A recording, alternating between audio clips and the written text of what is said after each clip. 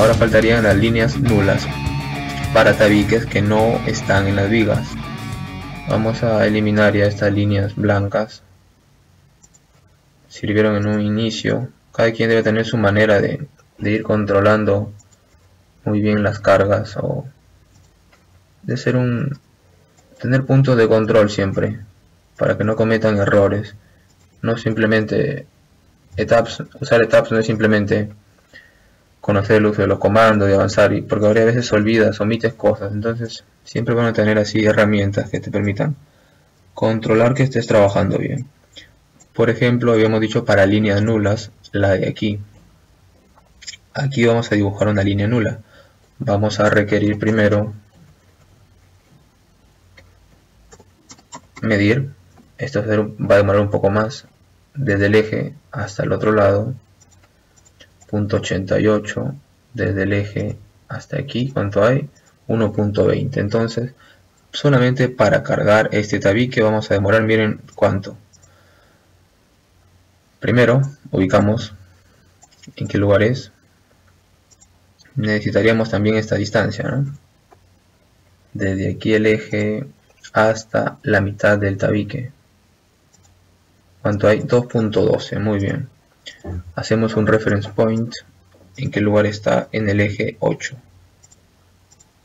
Aquí dibujamos un punto de referencia. 212 en X entonces. Ahí está. 2.12. Aquí y se dibuja acá. Perfecto. Y luego hemos visto que era 880.88 hacia arriba no, error, era en Y sí, 880 y 1200 hacia abajo 1200 hacia abajo o de nuevo hacia abajo negativo ahora sí con eso estaríamos ubicando recién los reference point, pero faltaría dibujar la línea nula. ¿Cómo es una línea nula? De la siguiente forma. Este comando, dibujo de vigas y columnas. Y aquí, en las propiedades, buscamos la opción ninguna. Al poner ninguna, miren, vamos a dibujar a partir de dos puntos que ya hemos definido. Tiene que salir reference points para que se dibuje adecuadamente. Y ya ponemos escape. Este es como si fuese una viga pero como pueden ver tiene un color distinto. En primer lugar hacemos clic derecho y vamos a aquí a assignments. Vemos sección ninguna. Propiedades ninguna. Brazo ninguno. Todo nada. No tiene propiedades. A eso se le denomina una línea línea nula. ¿Para qué sirve? Sirve para justamente eso, cargar, poder cargar este, esta zona, pero sin que esta viga participe pues en el, en el edificio, no, no, no, suma rigidez, no suma peso, no suma nada, tan solo sirve para poder colocar la, la carga. En este caso, la carga que vamos a tener Aquí, en esta zona, este tabique, a diferencia del tabique, por ejemplo, del eje D, este tabique llegaba hasta la parte inferior de la viga peraltada, por lo que su altura era 2.15. Sin embargo, este tabique va a llegar hasta la parte inferior de la losa. Por lo tanto, su altura va a ser distinta. Su altura va a ser 2.65 menos la altura del peralte de losa que es .17 y .20 Vamos a tomar punto 20 como promedio, no hay ningún problema. Es cosa mínima. Nuestro valor entonces para estos tabiques va a ser de punto 534. Entonces tomemos ese valor. Punto 534. Ya la seleccionamos, vamos a cargarla entonces. Eh, antes de eso, esto de aquí también sabemos que se repite abajo, ¿no? Aquí sí vamos a poder aplicar perfectamente el... Se repite. Muy bien, sí, aquí está. Esta la vamos a cargar. Una vamos dibujando todas y las cargamos al mismo tiempo. Vamos a dibujar una desde la placa hasta abajo. Para eso no es necesario usar reference points, porque si tenemos aquí el, reference point, digo, no es necesario usar, eh, sí, dibujar este, sino que directamente utilizamos el que ya está aquí hasta que aparezca 90 grados. Si no aparece, vamos a Draw Snap Options y seleccionamos todas. Igual que en AutoCAD son los objetos, son los objetos de referencia. Aplicamos, cerramos y aquí perpendicular, perfecto. Y ya está, tenemos otra línea nula. Ahora lo que vamos a hacer es cargar estas líneas 30 frames, perfecto, asignamos, las cargamos, ¿con qué valor? Habíamos calculado aquí ya. Punto 53.3 eh, se selecciona además aquí y aquí. Punto 53.3 ponemos agregar, no se olviden es importante agregar. Y aplicamos. Y se cargó perfectamente. Ahora estas de acá ya podemos replicarlas con un mirror. La manera correcta de hacer esto es regresando a One Story seleccionamos ambas vigas. Y ahora sí vamos a utilizar este espejo. Los puntos ya bueno los conocemos. Y aplicamos. Y ahora si vemos que solamente se han duplicado si seleccionamos aquí un frames y ahora dos frames. Una vez que tenemos esto ya sabemos que estas vigas están, están cargadas normal lo que vamos a hacer es replicarlas hacia arriba. Las vamos a replicar piso a piso desde el número 15 o desde el 2 al 15 no y ok. Vamos a esperar un instante. Y en general este va a ser el proceso que vamos a seguir dibujamos las vigas del lado de arriba. Luego replicamos un solo piso y luego la replicamos hacia arriba. Muy bien. Estamos en One Story sigue habiendo una sola viga aquí. Subimos y está digamos el tercer piso. Solo hay una viga perfecto. Y derecho y la carga está bien asignada. Entonces el procedimiento del protocolo funciona. Esa es la manera en la que vamos a actuar. Muy bien, ya hicimos para este lado. Viendo que otros casos más tenemos, vamos encerrando en círculos entonces. Los que ya están solo del lado de arriba, faltaría esta de aquí y esta de acá. Y la de aquí. De aquí hasta aquí vamos a considerar que está continuo la puerta vamos a considerar su peso normal, como si fuese tabique. Esto nos va a facilitar un poco el trabajo. Entonces vamos a ubicar solamente este punto y la línea nula ya se va a poder dibujar fácilmente. Acotamos entonces desde aquí hasta el eje 1.98 y desde aquí nuevamente hasta el eje 1.98 y 2.71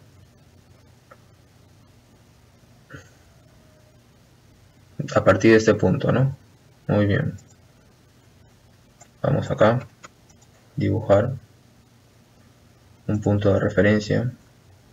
¿Cuál es el punto coordenado? Sería B7, B7. En Y, 1980 y en el otro 2, en X 1980 y 2710 en Y. En Y 2700, 2710 y en X 1980. Desde B 7, entonces desde aquí.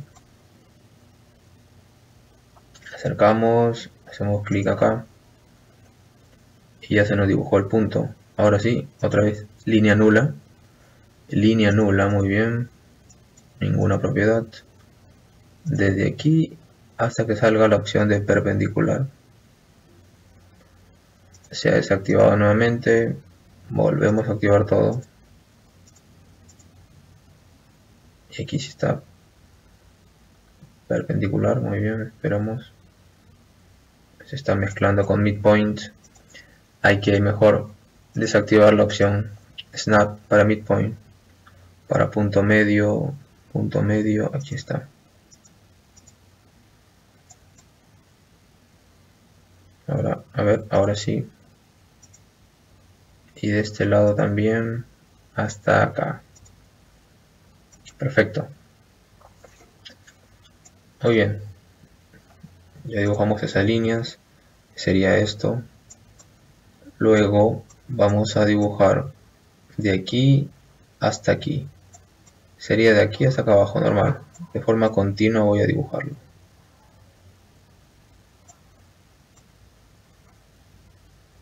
De aquí hasta acá. De igual forma esta viga no pertenece a un eje, ¿no? Aquí. Desde aquí hasta la columna entonces. No está dibujándose correctamente. Desde aquí hasta que salga perpendicular. Perfecto. Vemos que no ese tabique está un poco movido debería coincidir más o menos con el eje de la viga no lo está haciendo, bueno, es algo mínimo, normal. Ahora vamos a cargar esta viga. ¿Con cuánto? Es de ventana, entonces ventana ya sabíamos el valor. Esta de acá. Carga muerta, agregar, era 0.343. Y aplicamos. 0.343, 0.343, perfecto. Miremos bien que estamos trabajando en el piso 3. Quizá deberíamos trabajar en el piso 1, pero no hace mucha diferencia por ahora. Entonces ya está. Línea nula, esto ya lo cargamos bien.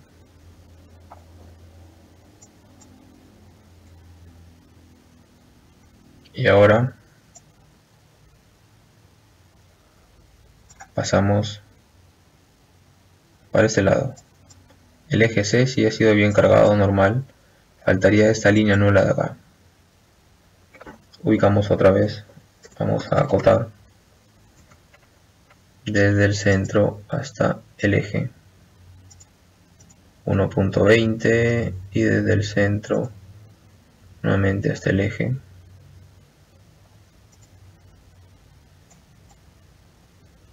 punto 67 es decir en X a partir del punto C7 C7. Tendríamos en X menos 1200. Reference point.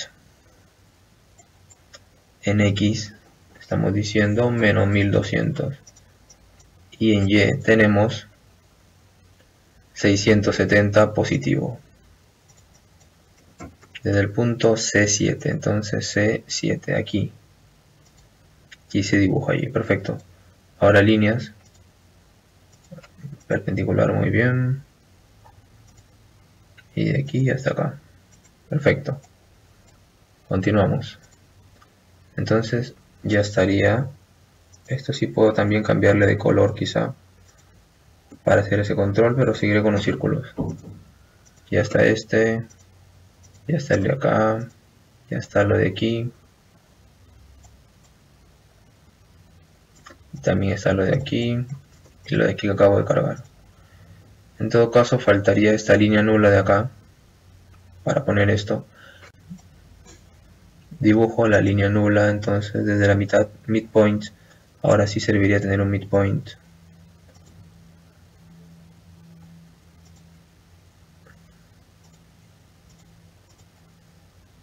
Ahora sí, hasta aquí de nuevo.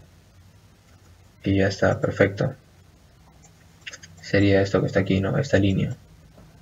Muy bien, continuamos. Entre el eje D, C y D no habría más líneas nulas. Del D al E tampoco. Del E al F, veamos. Sí, tendríamos esta línea nula de aquí y la de acá. Muy bien. Entre el E y el F. tenemos que ubicar ciertos puntos de referencia. Voy a poner pausa el video para continuar. Muy bien, prácticamente he dibujado ya las pocas líneas nulas, las pocas líneas nulas que faltaban. Y a continuación voy a empezar a, a cargarlas. Son un poco distintas, no todos son iguales. Vamos viendo, por ejemplo, aquí. Ha desaparecido las cargas, no recordamos muy bien cuáles están cargadas. Podemos poner, ya saben, clic derecho en una viga y saber las cargas. Acá no tiene carga. Aquí sí está cargada muy bien. Entonces faltarían todas estas de acá. Entonces aquí veamos qué condiciones tienen estos, estos tabiques. Hasta arriba, hasta arriba, todos hasta arriba. Todo normal. Todos, sí. Hay pocas que tienen ventanas. Las que tienen ventanas serían las excepciones. Todas salvo la de aquí que tiene ventana está comunicando, ¿no? todo lo demás funciona normal, no tiene ventana. Eso sin importar el piso, el nivel, el primero y el segundo, la única diferencia era en la parte central de allí, la distribución era exactamente la misma, así que no, no hay problemas. Ahora, entonces, señalo todo, seleccionamos casi todas.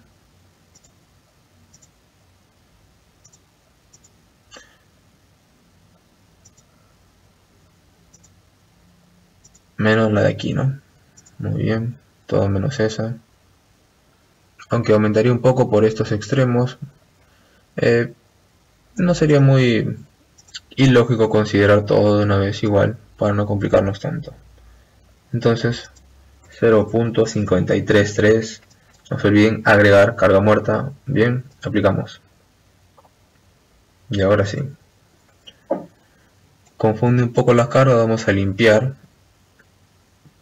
¿sí? Pero no olvidando que todas tengan exactamente la carga, ¿no? A ver, comprobamos carga si tiene, también tiene normal, tiene, todas tienen carga. Muy bien. Ahora, como había dicho, voy a proceder a, a replicar.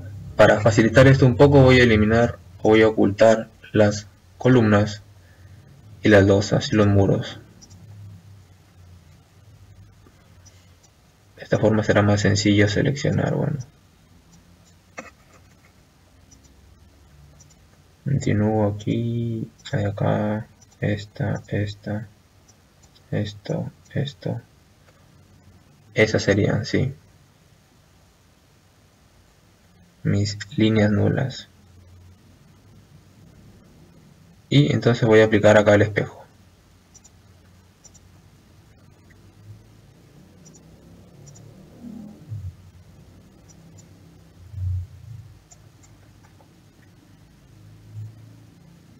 de aquí hasta acá. Ok.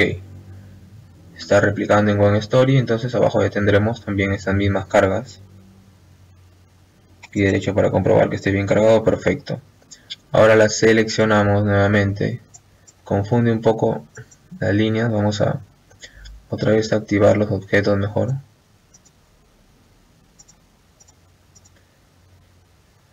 Y serían esta, la de aquí, la de aquí este no se ha copiado bien, vamos a nuevamente replicar. Acercamos un poco. Faltó replicar este pedazo. Ya está, se guarda el espejo. Ponemos OK. Y rápidamente, como es un solo elemento, se duplica sin problemas. Ahora aquí seleccionamos para poder replicar hacia los pisos superiores. Estamos en el piso 3, ¿cierto? Entonces tenemos que replicar primero hacia el piso del 4 al 15. Luego machucando control 1 y 2. Muy bien.